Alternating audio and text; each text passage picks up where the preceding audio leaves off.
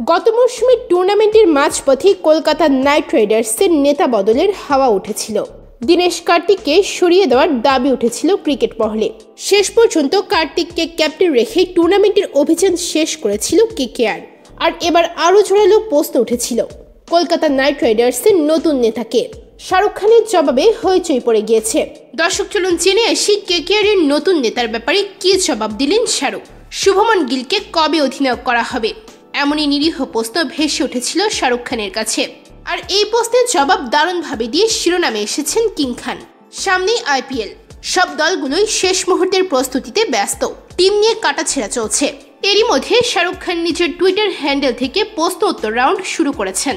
আর সেই সময় কেকেআর নিয়ে প্রশ্ন শুনতে হলো মালিককে। এক ভক্ত সরাসরি জিজ্ঞাসা করেছেন কখন কেকেআর শুভমন গিলকে দলের নেতা ঘোষণা করবে? তখন স্বভাবসিদ্ধ রসিকতায় শাহরুখ খান জবাব দিয়েছেন, যখন আপনাকে দলের হেড কোচ ঘোষণা করা হবে।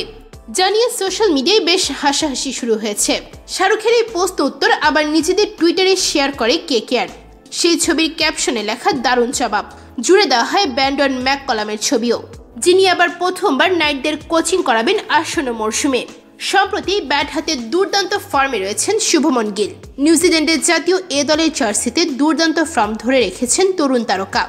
তবে কেকেআরের তরফ থেকে আগেই জানিয়ে দেওয়া হয়েছিল নেতৃত্বে কোনো বদল ঘটছে না। দীনেশ কার্তিককে সামনে রেখে ট্রফি জয়ের জন্য ঝাঁপানো হবে। কেকেআরের সিও সাক্ষাৎকারে সাফ জানিয়ে দিয়েছেন, নেতা বদলের কোনো পরিকল্পনাই নেই।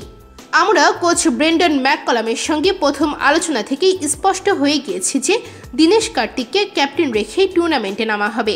তার বিশ্লেষণ ছিল প্রথমে মনে করে দিতে চাইছে দীনেশ কার্তিকের অধিনায়ক করতে দু সালে ফাইনালে ওঠা থেকে এক ম্যাচ দূরে ছিলাম আমরা। দু হাজার উনিশ সালে প্লে অফে উঠতে পারেনি নেট রান রেটের জন্য। তবে কোনো সন্দেহ নেই, মর্গানো সীমিত ওভারের ক্রিকেটের দারুণ এক নেতা। বিশ্বকাপ সেটারই প্রমাণ। মর্গানের নেতৃত্বের গুণ এবং ট্র্যাক রেকর্ড কেকেআরের কাছে অমূল্য। দীনেশ কার্তিক ও মর্গানের উপস্থিতিতে দল অবশ্যই উপকৃত হবে। গত মরশুমে কেকেআরের ড্রেসিং রুম যে ঠিকঠাক ছিল না তা বারে বারেই বুঝিয়ে দিয়েছিলেন রাসেল। আর তখন দীনেশ কার্তিকের নেতৃত্বের দক্ষতাও প্রশ্নের মুখে পড়েছিল।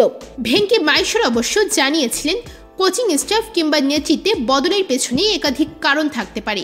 তবে আমাদের মনে হয়েছে নতুন দৃষ্টিভঙ্গিতে শুরু করাটা প্রয়োজনীয়। দু হাজার আঠারো সালে আমাদের স্কোয়াড তুলনামূলকভাবে তরুণ ছিল। নতুন ক্রিকেটারদের সংযোজনের ফলে স্কোয়াড কেমন হয়েছে তা আইপিএলে দেখার জন্য আমরা মুখিয়ে রয়েছি।